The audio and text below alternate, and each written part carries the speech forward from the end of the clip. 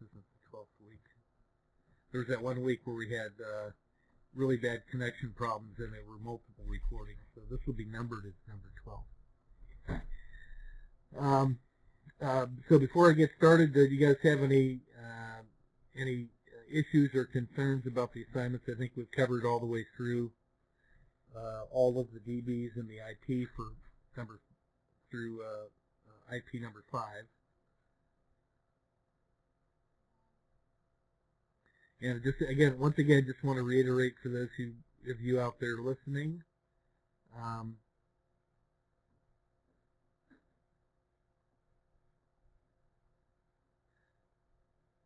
uh, you have uh, five different choices. Um, you can do the uh, assignment as written in the syllabus. Uh, you can pick a different company to write about, uh, but using the same kind of structure. You can talk about a personal business plan or this five-year forecast of where you intend to be after graduation. Um, a, a, nice way to do that would be to take whatever you wrote for yourself as your goals and objectives for taking the program and then projecting that uh, after the program, so five years into it, what does the success look like? Uh, and then you can uh, work backwards to your implementation plan uh, between now and then it figures out how you get to those uh, uh, successful end states, which is a pretty nice exercise in strategy, which is why I recommend it. Um, or you can do the annotated bibliography, picking the 10 best resources that you found uh, during the course, and uh, and do a um, annotated bib for the benefit of your peers, and then share those with each other to help build uh, your professional library. Um, uh, or fifth, uh, if you can use your own initiative uh, consistent with the goals of this course to uh, work on about a 10-page effort that would tie together either the concepts directly from the course or something that this course triggered you to investigate and that you'd like to do a paper on uh, you guys have worked so hard, so well throughout the course that uh, you've certainly earned the right to um, uh, use your own judgment at the doctoral level and uh, produce something that is of most value to you um, in terms of your strategy for completing this program and going on to success. That's what the whole point of this uh, course has been, is to examine different elements of strategy and the, you know, the use of it, development of it, the implementation of it, different models for creating and applying strategy, different perspectives, along with uh, the tools uh, that are often used in the business world for company strategies. I just feel like at this point in your career uh, and in the program, you should look beyond some of those um, technical models and MBAs use, which are very kind of finance related and traditional uh, uh, traditional MBA programs. Uh, I think we need to do more than that.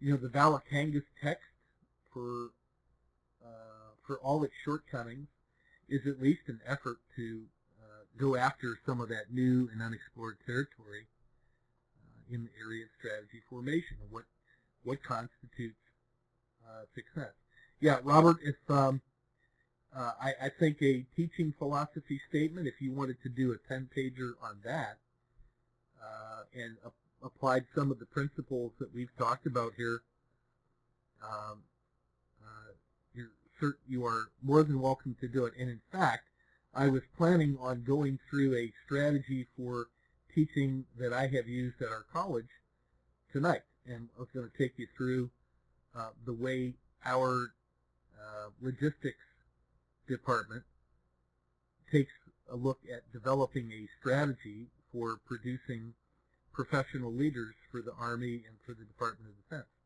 And, uh, and maybe there will be some ideas um, that would trigger you uh, as we go through that. So, um, very timely. Uh, so those are the those are the opportunities there. Um, oh I'm hoping we didn't lose the internet.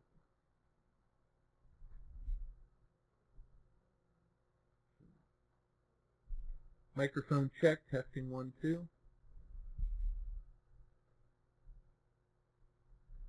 Mic check, testing one two.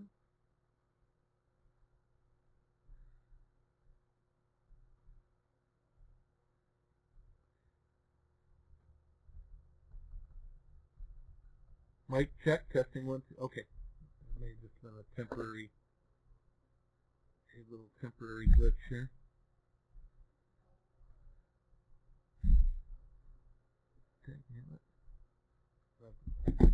Have I lost the mouse?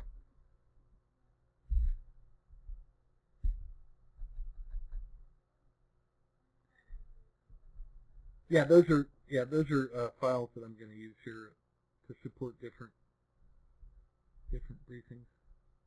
But my, it's like I lost the mouse control. Ah, there we go. Okay, so we're still good on the audio. Sorry for that.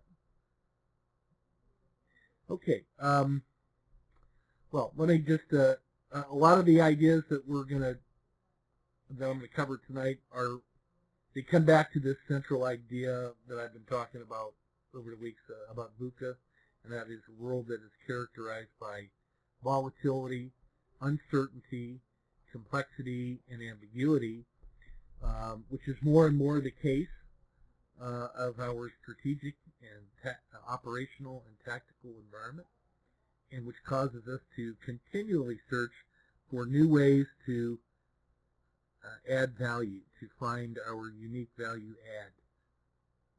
Um, because things can change so much, we need to be able to sense and respond and not just put uh, blind faith in a single perfect strategy for all time.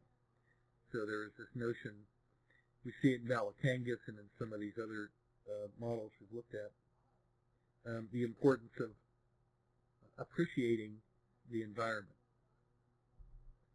Um, and that has a lot to do with how we put strategy into action. And just want to remind you this notion that comes from Taleb, the idea of asymmetric payoffs, which is searching for ways in which we can create value at lowest cost and lowest risk. Um, uh, reminder, the, the Välikangas model basically says you should look for the wow factor. What is it that makes your product or service really stand out from all others or creates a new and exciting thing in the world that nobody else has? What and that comes down really to, in my view, a combination of differentiation and uh, delighted customers, the things that really grab their attention, what makes you stand out. And then the so what is sort of the uh, um, a deeper analytical piece which says why should that maintain their attention? So if the wow factor is what gets their attention, the so what factor is what keeps their attention. So it's not just a flash in the pan. It's not just a shiny thing that um, uh, mesmerizes the raccoon. You know, it's something that has deep and enduring value. And then the final part of their model, of her model, is the oomph, and that is how can you leverage uh, your resources as an organization in order to achieve maximum impact. And that usually is going to mean uh, leverage and um, seizing key terrain, if you will, or finding key uh, leverage points in the environment that allow you to multiply your effort, uh, either through media or um, inter, uh, information technology, digital technology, or uh, viral marketing or partnering, uh, anything that's going to allow you to uh, dramatically scale what it is that you do. So those are the three elements of her model. And then in her case study, she's trying to find how those factors manifested across a variety of different uh, organizations. Uh, so we talked about uh, this this little model here, the plan, prepare, execute, and assess as being the stages of um, developing a strategy with planning, and then going into the how to implement in the prepare phase, and then putting it into actual operation in the execute phase, and then the learning uh, process or the learning phase, phase four, the assessment of results. And then we recognize that this is um, a linear statement of one iteration of an action research or an action learning process so in which we uh, we don't try to fool ourselves and say we can have a complete, perfect, and enduring understanding of the situation because of the VUCA, because it's so dynamic, but we can uh, learn to iterate our decisions as as one iteration in a string of strategic choices that are all aiming towards our common objective. So uh, looking to make um, add some value with each iteration and iterate towards success. Um, we've talked about some uh, critiques and comparisons of Välikangas to a couple other models we talked about last week, um, going back to uh, you know like about 2005 and then 1990 or so. So today we're going to even a little bit deeper, uh, and I want to talk about um, Kenichi Ohmae, uh, who uh, was a nuclear engineer and then worked as a design engineer in Japan in the post-World War II. He was, he was born in 1943 um, and was a, a, very successful strategic thinker uh, in Japan. And this is at a time, you know, I would say in the 70s when um, he began to distinguish himself as a, a design thinker and strategist, uh, whereas most of the Japanese expertise seemed to be on the operational and tactical level, the implementation of, of good ideas from the outside. They were rebuilding a war-torn country. They were applying the principles of Western management under the teachings of Dr. Deming and the statistical process control, total quality management crowd. Uh, and so hadn't really distinguished themselves yet as uh, strategists. They were still trying to build the, you know, the baseline and foundations of a professional managerial class. And so Ohmae really stood out as um, uh, maybe the first uh, or most prominent of their uh, strategic thinkers. And uh, he was uh, he then joined McKinsey and Company and sort of became a uh, a gateway or a conduit for what was working in the world of uh, or the region of Asia and uh, incorporating a lot of the original cultural insights uh, about Asia with respect to large organizations and competing in the global model, global markets.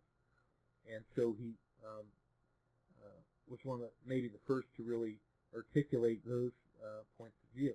Right? So um, uh, the uh, one of the latest books he wrote from 2005, The Next Global Stage, was uh, one of the summaries of uh, the enduring principles of maybe a 20 or 30 year uh, career in applied leadership uh, and strategy making in Asia and the global markets.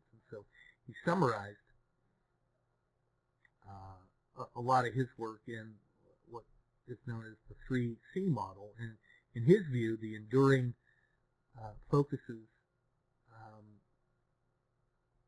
were on uh, the corporation, uh, the customer, and the competition. Was basically framed all his uh, insights in those dimensions. Uh, I, I, found some very, I'm going to draw this connection here in a minute to uh, in the world of military strategy, we talk about um, the intelligence prep preparation of the battlefield as a way to uh, um, set the conditions for understanding um, of what's going on before you commit to a plan.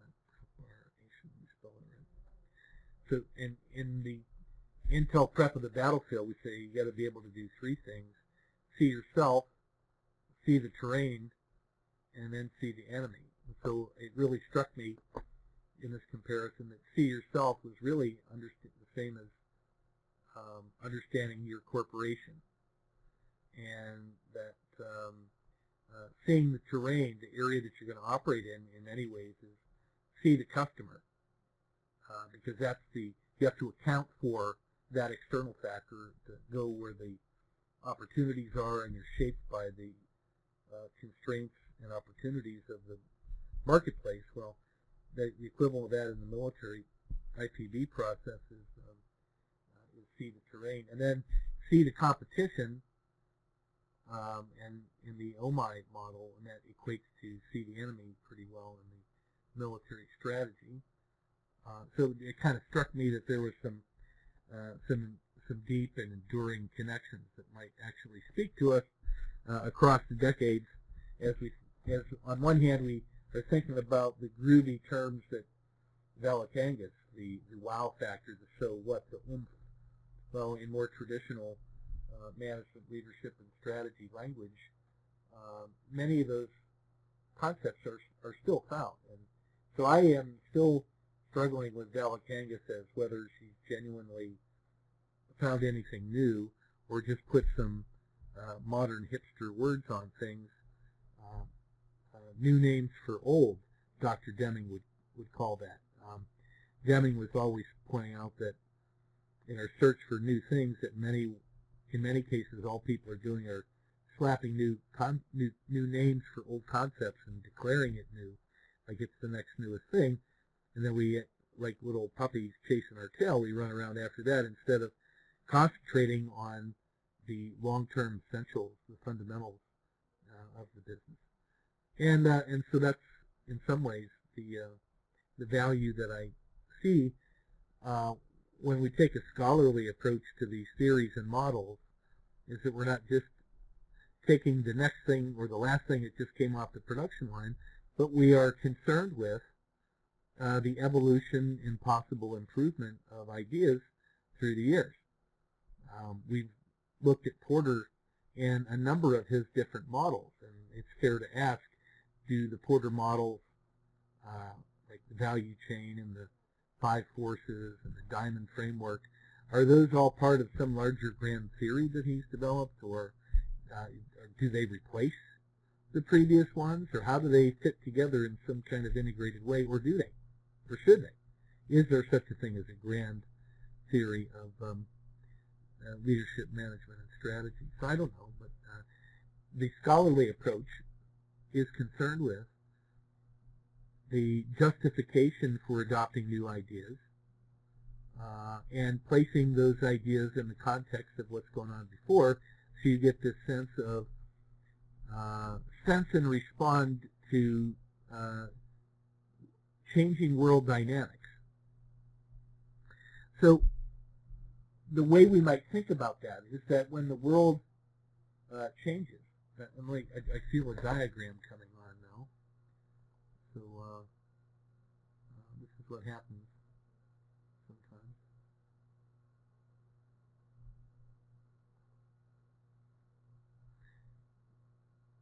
Oops, that's not what we want. I wanted a blank one, sorry.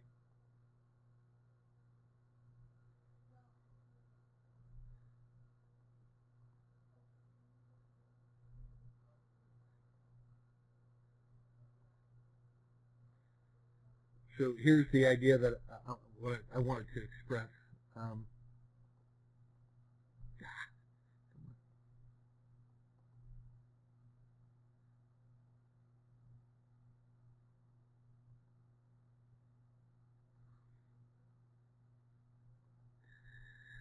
Uh, so one way we might look at uh, a changing world dynamic is sort of a linear path through time, that we start seeing patterns that look like this, right? And uh, we, we see things are going up, um, and then things are going down, and then things are going up, and then things are going down. So we might think of the world as this sort of a, if we made a simplified model, we might see it as a sine wave, almost seasonal, right? and that there are different, when things are going up, you might do one thing, when things are going down, you might do another thing things are going up. So now there's a, a seasonal response to the oscillation of the market. Now, the way I've drawn this, you might notice that uh, the, the next guy might say, well, we had, uh, when things were the lowest, they got down this far, and then things started to improve, and now these oscillations, the highs began to be higher,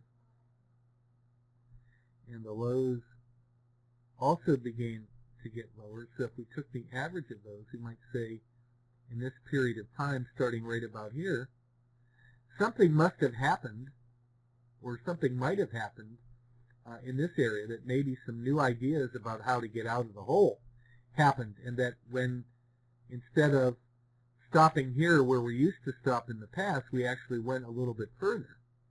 And then when it pulled back, we didn't we didn't come all the way back down to where it went before, but we were able to raise our level and it stopped here and then started going again. So in this period of time, in this red box, we might say, hey, uh, this this could be an era or a new phase. Um, if that that might be a generational change, and that in the area of the green box, we might look back as the as the old days. Uh, and so we might, as a scholars say, what accounts for this change in performance that went from sideways to um, a steady improvement. There's still there's still evidence of this oscillation occurring, but it's now like that thing was tilted up a little bit, and it looks like genuine progress is being made. So as a scholar, we might look back and we might say, what was it in this uh, in this area? Let's let's try to make it this um, orange purple. What happened down in this area that seems to have changed? That instead of things going this way, they are now going that way. Uh, what was the addition of it? Was it something that we changed in our internal process? Was it the addition of technology? Was it a change in the larger world around us? Maybe they were doing the same things, but the world changed and it began to reward those behaviors more than it had in the past. Uh, so we, we're trying to find the root cause of that source of change. And so one of the things that you get with a scholarly approach, and I've tried to talk about this, um, if we look at this uh, on a time model, and we talked about, you know, 2016, the Välikangas text, and then 2003, we looked at that um, uh, that particular model around 1992. Uh, we were looking at the um, Nadler and Hibino model, the breakthrough thinking, and now maybe I want to call this around uh, 1980.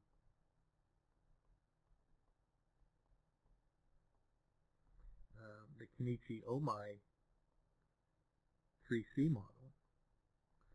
Well, these are these correspond to almost different cycles in business operations and in the theory. So each one of these guys is a theory that talks about what's the best way to proceed. And so if we are uncritical thinkers, we might say, hey, it's 2016, and we're just going to adopt Välikangas, and we're going to study what she says. Let me see if I can find those be complete. Um, yeah, Johnson and Bates. That's what I want to say. So Johnson and Bates we talked about. If we are an uncritical thinker, or maybe if we're working at the master's level, and we just say, well, we're going to concentrate on this time forward, and the Välikangas model tells us to do those three things. The uh, wow factor, the so what, the oomph, and, uh, and that's really the way of the future. Well, it's easy to get on board that bandwagon and take the most popular current idea and off we go.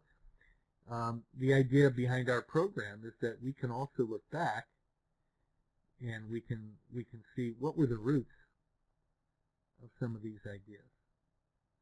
How did these different theorists looking at the world in those years and trying to make sense of this complex interaction of ups and downs and cycles and, and progress and no progress.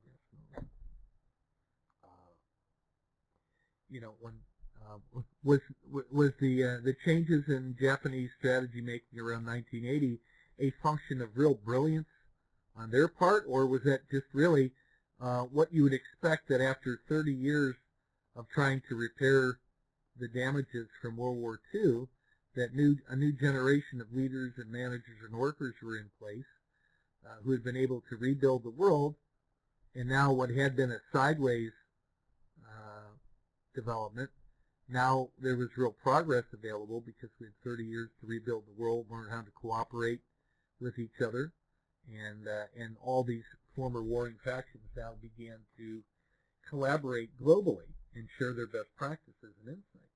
So now maybe the world is ready for Kenichi Ohmae and his three C's. So was it, was it a concentration on the three C's that brought this about? Or was that a natural response to an improvement in the human condition, the absence of these global wars of destruction? Maybe that's what accounts for this, and maybe it wasn't these management ideas at all. So we're allowed to ask those questions as scholars, and our job is to try to unpack some of this complexity uh, through time with these different theories. So in my view, the uh, those three elements that uh, Ohmae talks about are perfectly compatible with the ideas that Nadler and Hibino and Johnson and Bates and even Välikangas talk about. You know, when you talk about the uh, wow factor in Välikangas, we're allowed to ask which of those three C's in Ohmae is that wow factor to be found? Is it something internal that we developed in the corporation? Or uh, was it something in the uh, the changing nature of the uh, of the customer? Did they sud were there suddenly new customers and new markets available that had needs that could be served by somebody that weren't yet uh, in place? Or did that wow factor come from uh, a response to what the competition was doing and forcing us to adapt and overcome? Uh, was that the source of the wow factor? And the so what? The, um, the long-term value add. How do I embody that in my infrastructure in order to preserve um, those new insights? And then the um, the leverage. How do I uh, organize my corporation and the customer to defeat the competition or um, absorb the competition in order to uh, to scale my insights uh, more broadly. So there are certainly things that Ohmae talks about that uh, that add value to those three factors that Välikangas talks about. So one of the things that I hope to uh, highlight with some of these chats and whatnot is to show that a scholarly approach uh, considers the roots of these ideas and looks for some of these deeper fundamental questions uh, that allows us to put the the modern text or the modern theories into the cut that's informed by the past and looking to see what of the past can feed forward and still might be useful. And again, these are simply starting places for the kinds of questions that we can ask. That we, we ourselves can have a theory of how to integrate um, the big integration of these past theories with the modern treatment. Uh, but again, that's just a theory. And so my view is what kind of results do we get going forward that justifies our proposed integration? And so uh, this kind of a program, uh, by developing critical thinking, should allow us to explore our fundamental assumptions and our um, beliefs and the degrees of confidence we can have in our conclusions based on evidence and reasoning.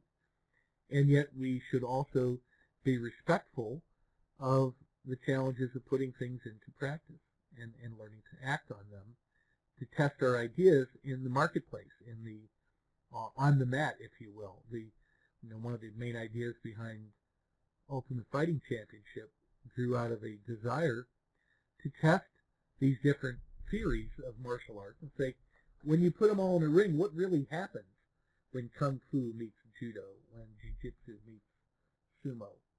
uh, when Muay Thai meets Western boxing? What are the consequences of, in the real world, of implementing these strategies and theories?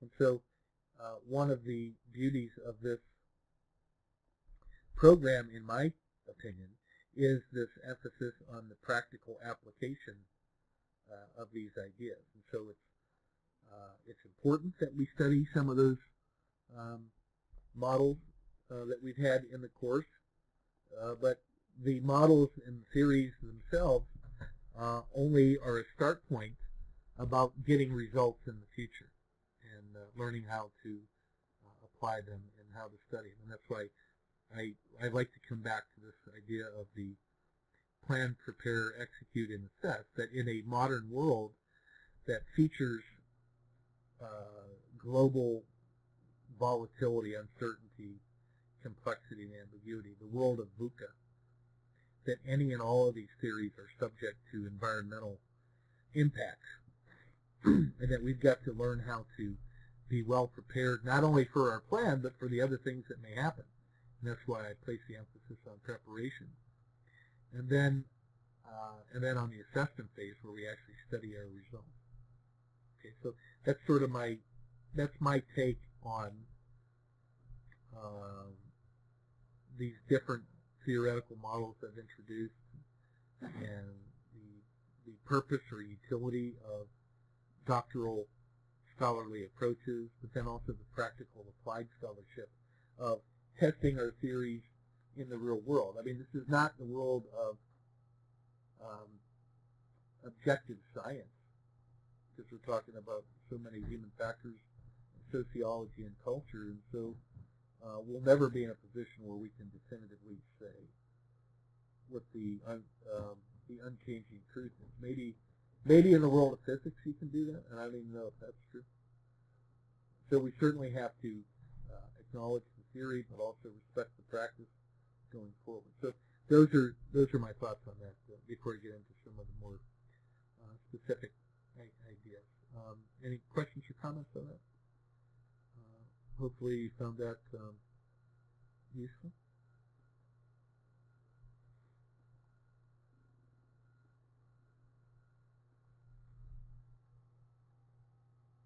Give you a chance to type anything in there before we proceed on. Um, one of the uh, one of the tools that are not covered in our book, uh, but just I just think is uh, has stood the test of time, is this SIPOC model. Comes out of the world of systems thinking and um, Lean Six Sigma and whatnot. That uh, regardless of which of those theoreticians that we've talked about, whether it's Välikangas today, um, as you're searching for the the wow factor, and you're looking for the so what or how do I leverage that um, in the oomph factor.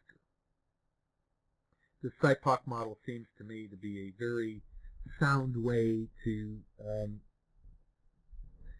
develop your understanding of the details of your environment and you could you, this would fit right with what Kenichi Ohmae was saying in 1980 and onward with his three C's. Um, if you think about the um,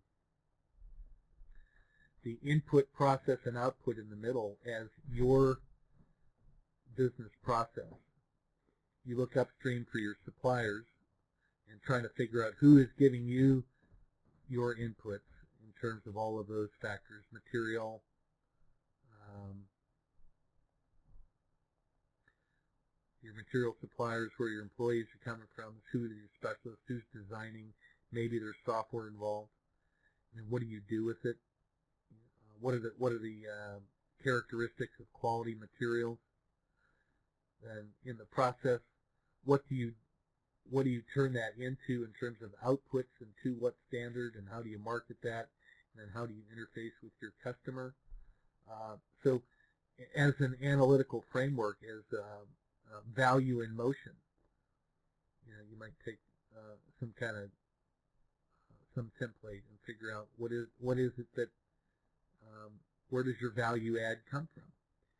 I would argue that if, even if you could use something like this for your uh, your five-year business plan, if you were if you were going to say, hey, let me uh, let me think about being a consultant or providing uh, strategic advice, or being a uh, process consultant where I help people develop their own ideas in a structured, systematic way that is robust, that isn't just what their first thought, but actually uses the accumulated wisdom of management theorists over the last couple decades and uh, pressure tests or stress tests their ideas to really uh, learn in the laboratory how good those ideas are before you release them into the world. That's one of the most important things that your scholarly approach can do is that you're familiar with uh, the different ways in which ideas can be tested, what the boundaries are, uh, discover that in the in the uh, R&D shop before they commit, you know, their real resources to it. So I just offer this SIPOC model as a way that you can proceed with developing uh, your business analysis case uh, or developing your end state strategy. You could be designing an ideal situation, or you could be taking a look at a new marketplace where you have you have uh, you have envisioned an end state, and you're trying to work backwards towards well, what kind of products could I offer those that new uh, and unserved market, and then what kind of processes would I have to have to create those outputs, and therefore what kind of inputs do I need in order to make the output, and then who in the world can supply me those things as inputs, and then starting to take a look at these interfaces between each stage of going from raw materials to final product and delivery. Uh, so that SIPOC model is a way that you can operationalize the connection between uh, the present day opportunity and the uh, successful end state in the future that um, that's going to drive our strategy. This this is the implementing uh, analysis, the analysis of the implementation process, if you will. So I offer this as a uh, as a tool set for you. So, um, I didn't see it in Välikangas, but it's one that has um, uh, stood the test of time in a lot of different uh, disciplines, and this is a nice way to get started with understanding your environment and your opportunities.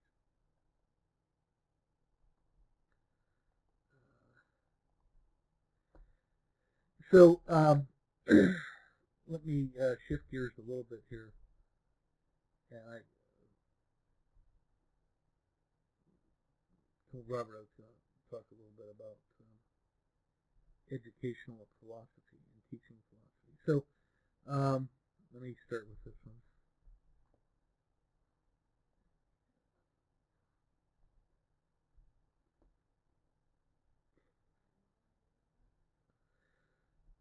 So uh, the teaching philosophy that uh, I've had to develop at the at the uh, Command and General Staff College, uh, right here in the middle, is that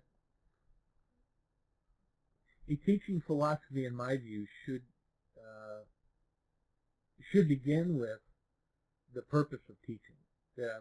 Teaching for what end in mind? You know, what, what are the uh, the ultimate successes? Why do I why am I teaching? And what's the environment like? Who am I teaching? And what are the skills that they have to master? And then um, where are they starting from? Where do they have to get to? How much time do I have? And so that teaching philosophy uh, as a way to package all of that into some overarching principles. After I've mucked around down there in the mud and you know, done some of that analysis, the philosophy is sort of what I come back to that provides that overarching vision. And so this was uh, this was uh, something I put together around 2011-ish uh, to try to help the Army and my department understand what the role of our military college was. at the Command and General Staff College, um, we're teaching majors in the midpoint of their 20-year career. They've had 10 years of direct action leadership in the field army, at the tactical level where they've been uh, solving problems on a daily basis that are immediate and apparent and right in front of them, and it takes a lot of battle drill and training uh, to overcome uh, standard repetitive challenges. You know, survival and victory and tactical engagements are not anything that's new and mysterious. Although I guess it's mysterious. But um, it's really much more about training battle drills and all that. It takes certain uh, a certain type of uh, training and teaching philosophy is appropriate for those kinds of officers, and that is I may be less concerned with the deep educational principles about an uncertain world, and I might emphasize different techniques uh, that are more directive in nature and repetitive in order to train a high degree of proficiency in standard tasks in order to lead to successful battlefield environments. So my teaching philosophy might still be uh, learn as much as we can, as fast as we can about the most important things and guarantee soldier performance. And if I have to accept risk, maybe it's in the understanding uh, at a deeper level in their cognitive mind, but I'm, I'm trying to train things um, to be automatic and instinctive in battle drill. And so my teaching philosophy might be different in that kind of environment. So that's what we teach them in the first two or three or four years in order how to sur survive and thrive in the immediate battle. When they come to us in the Command and General Staff College, they're 10 years older. Um, they have a lot of experience.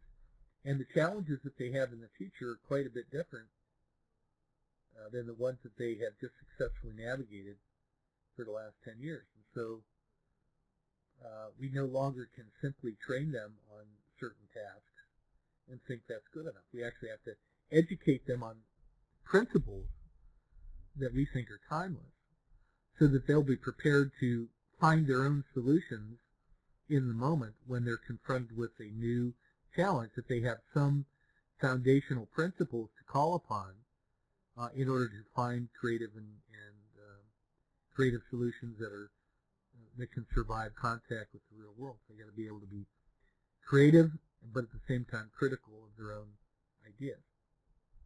So to that end, we have this tension at the Command and General Staff College about the uh, about two different domains of knowledge. One of them is the world of doctrine, and the other is the world of informal practice. Informal practices are what they grew up learning. Their 10 years of experience based on customs and tradition and experience, the word of mouth and how they did it in their unit, one unit among many.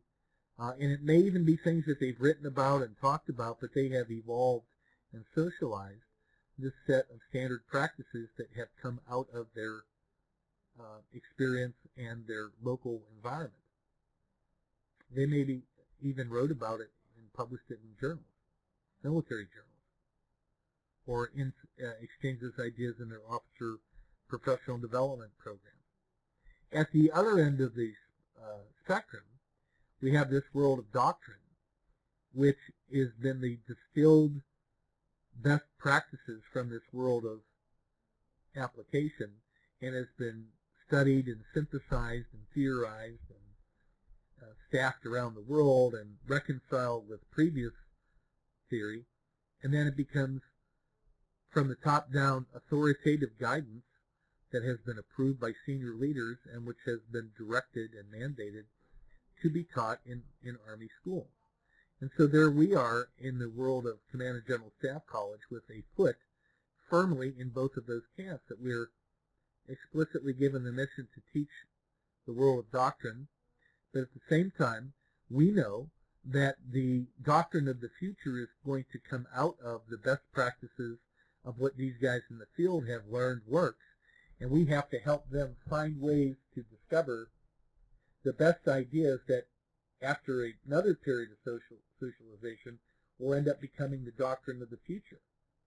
So in our view, or in my view, uh, a teaching philosophy must somehow address this uh, dynamic trade-off between the demands of doctrine and the demands of our learned best practices from our experience. We want guys to think about and reflect on and trust their judgment and their experiences. At the same time, we're trying to teach respect for the world outside of their experience. How do we find the right balance point here in the Command and General Staff College? But if I have, in one academic year, I have 600 hours of contact time to talk with these officers, how do we blend this these two competing sources of knowledge? Now, the hidden so what of this is that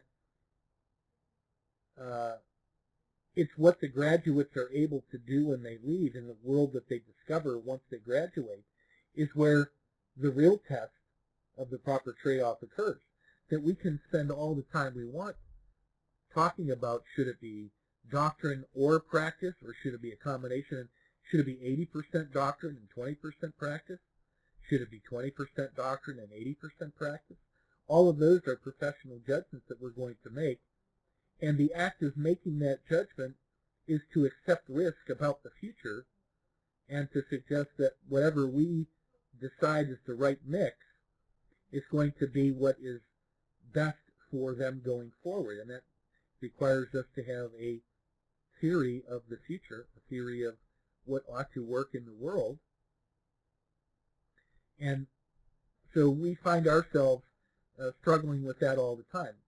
Not only making that decision in a uh, theoretical way from the top down, but then learning how to develop curriculum, how to write lesson plans that a 300-person faculty can reliably teach to 1,500 officers.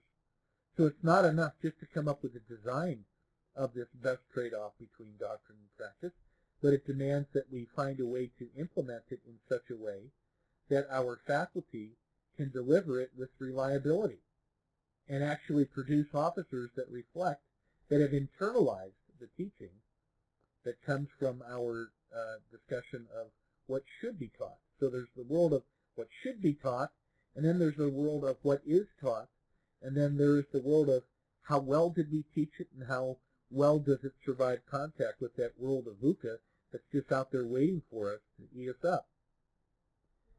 And so some of the things that we have to teach are not specific content material, but we have to actually teach them how to sense and respond and decide and develop on their own when they're outside of the, they don't have, when they don't have the faculty to rely on. We need these guys to become uh, self-motivated, self-actualized students of their profession so that they can learn as they go and incorporate some of these considerations in the way they comport themselves. Well, if that's my view of the challenges we have in uh, in our teaching, that really is talking about the uh, operational environment, and then my if I were then to put my uh, my philosophy, my teaching philosophy on top of that,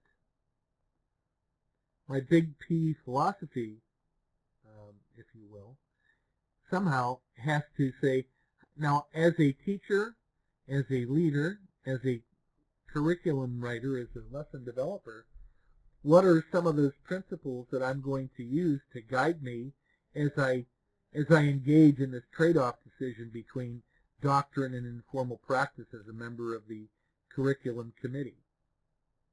As an author who can write on these different uh, these different documents that range from the world of authoritative doctrinal publications and the world of professional military discussion in written form, these journals, and all of these degrees of, uh, it, it gets increasing formality as you go to the left and more increasing creativity and critical thinking as you go to the right.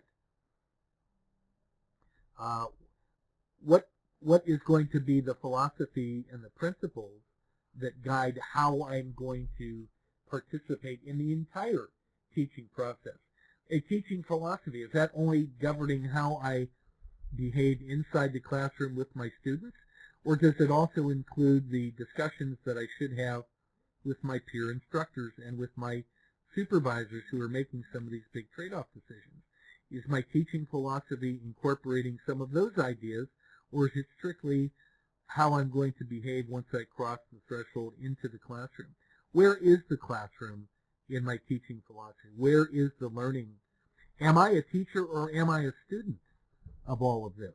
If I consider myself to be a learning scholar all the time, then I myself have to incorporate my own learning into my own teaching practice. And it may be that my teaching philosophy should discuss my role as a model student in the classroom. And in fact, that's the approach that I try to take all the time, and that is that when I walk into the classroom to teach them, what I'm really teaching them how to do is how to be a good student of the profession, to show them what it is that I'm learning and working on and reading and writing and thinking and testing. And if I show them that behavior and how to be uh, a critical and creative thinker, uh, and then turn that into education about the profession, then I'm actually teaching them by modeling the learning behavior as a as what I think is a good student.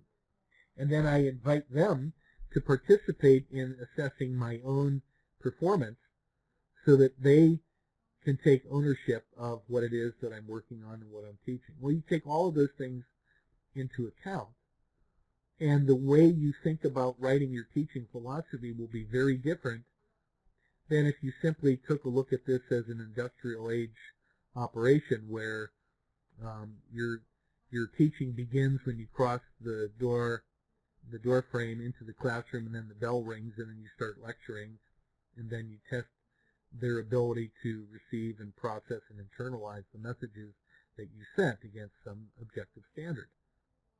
Well, a teaching philosophy in that model would be very different than uh, the teaching philosophy that you would write if you're in this uh, living, breathing classroom, in part, which is a subset in a living, breathing world that's going on all the time around you.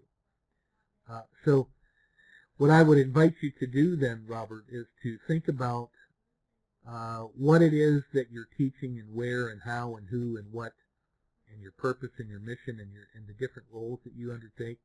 And then your your capstone philosophy might simply be a statement of principles and values and how you propose to act as just one cognitive agent inside that very dynamic and complex environment in and around the classroom, around your department, around the school, and in the world. I don't see those as uh, uh, as barriers or isolation chambers.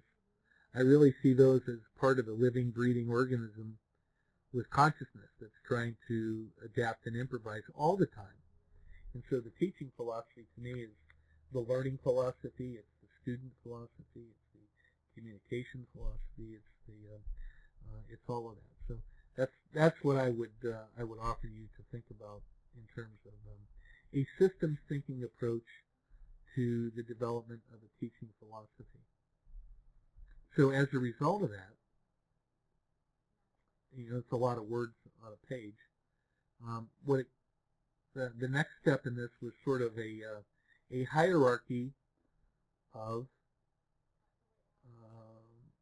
an approach to teaching them certain skills. That I wanted them to adopt some of these principles of good scholarship and and, uh, and learning, but uh, I, I, put it inside this context, um, which was that um, in the first place I was there to uh, to teach them the principles of sustainment to F, and that was just one of the warfighting functions that they had to master in order to be a competent officer. They had to learn about the world of mission command, about intelligence and fires and maneuver and protection. Those are all components uh, taken together that leads to uh, what we think of as combat power or capability for the commander.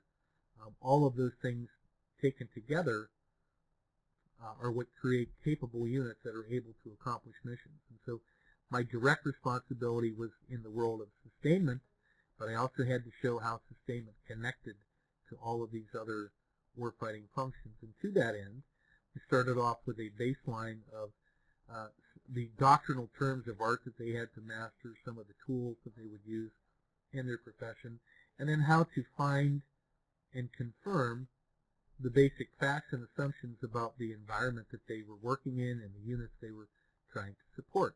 And then we would proceed to the next higher level of complexity, looking at the kinds of missions that they would have to perform and the units they'd have to support, how to generate the requirements for support. How do you figure out how much fuel those supported units are going to use? There's a, a process of determining requirements. And then there's a process to figure out uh, uh, all the sustainment organizations that are available and what they're capable of doing, and then how you match the requirements with the capabilities to ensure you have the right uh, people that you can perform the sustainment function.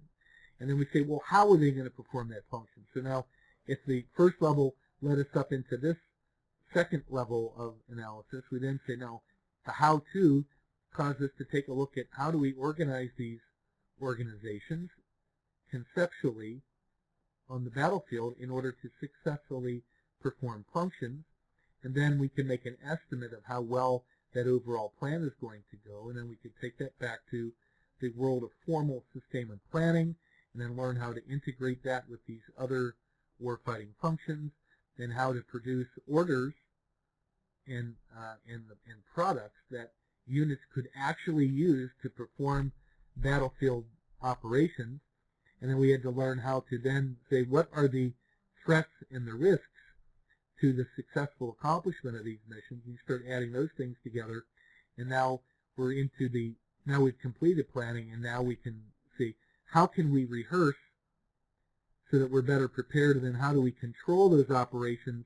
All of these things are increasing in complexity as you go up the scale, but this was sort of a building block approach to how to teach and what to teach and in what sequence in a way that built upon previous success. And so this was, in some ways, taking the, the philosophy and turning it into a calendar, an approach, a priority scheme, and then knowing how much I had to do in each one of these before I could proceed to the next one in order to quickly get up to the top level where we could actually have them writing orders. So um, this is less about philosophy and more about how-to and application. Maybe it's an applied philosophy, uh, but there's certainly some analysis in there as well. So that's how in one world, now what I can do is I can take those, those values and principles that come out of the philosophy. You know, I, I've written my teaching philosophy now, and now I can take those values and principles and then try to apply them every day in everything that I do as I'm going about the technical part of the teaching, which is how to do, um, how to teach those particular lessons to that group of students, and finding the right modes to ensure that they can learn um, quick as quickly as possible, and then assessing them in such a way that we can have confidence that they've actually learned what it is that we propose to teach. So uh, part of your teaching philosophy has to incorporate the how to implement and how to assess and what the purpose of the assessment is um, in, in, the way that you conduct yourself. So that's everything I wanted to say tonight about um, strategy making, the use of models, uh, introduction to Kenichi Ohmae, uh, exploring uh, some of that in an applied setting, uh, and then um, talking a little bit about uh, an educator's view of this stuff um, in terms of uh, like maybe a business plan or thinking about consulting. If you were going to do consulting, your thought process might follow exactly these steps. Only instead of doing that inside an organization, maybe you're acting as a guide to help others discover these things, or you're applying it to your own area of expertise to figure out how you're going to um, uh, become that good um, uh, consultant or a teacher. Okay? Uh, so that's everything I wanted to cover. I would just invite you to maybe take a look at this, this stuff over here. Um, we are working on how to conduct visualization. There's uh, five podcasts and visualizations we've been um, that we're we're using those podcasts to help in the way that we teach to make the information more accessible even outside of the classroom. So I'll talk maybe some more about that um, uh, next week. Um, but I want to post those for you. I, I think what I'm doing, I'm going to put those in a uh, in the announcements. So if you feel like looking at examples of teaching podcasts for the flipped classroom, how we can work on the um, uh, preparation phase so that the time that we spend in the classroom is working on applied discussions rather than simply listening to lectures. This is sort of one of those approaches. Um, I can talk more about that next week. So again, uh, before I wind up, I uh, just want to check in with you once more. Uh, any any questions, comments uh, before we call it a night and get on with the rest of this beautiful weekend?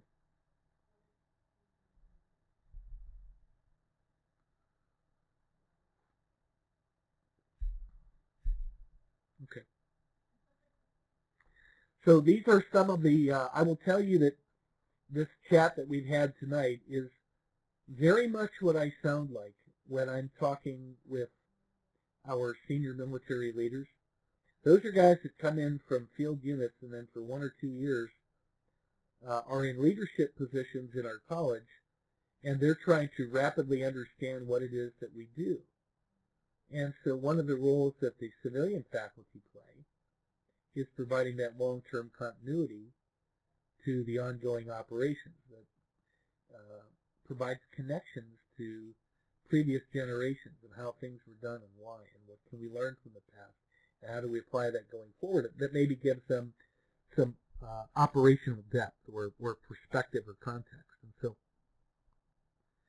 as a uh, as a doctoral um, professor, if you will, or having that do, uh, I get a chance to talk about some of those things, and um, these are the kinds of things that terminal degree holders can offer uh, those operational commanders or those chief executive officers who have, you know, they're living in the world of daily decisions, but they need some of these maybe uh, deeper insights or context insights to place their situation in, in a larger context so that they're not, they don't feel so isolated and alone. Um, that's some of the things that people rely on the doctors to provide is some of that maybe deeper insight.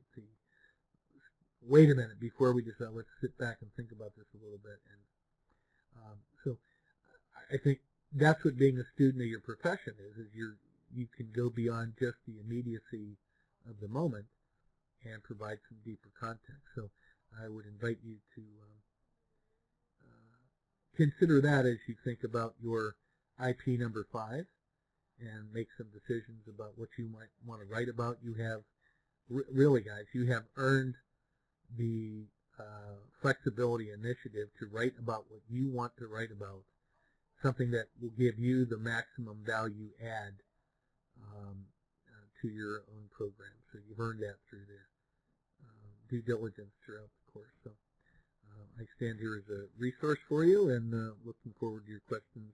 If you have any, just send them by email and uh, we'll get on with it. So take good care and have a safe uh, Uh, weekend and we will see you in the discussion boards and then next week's 10.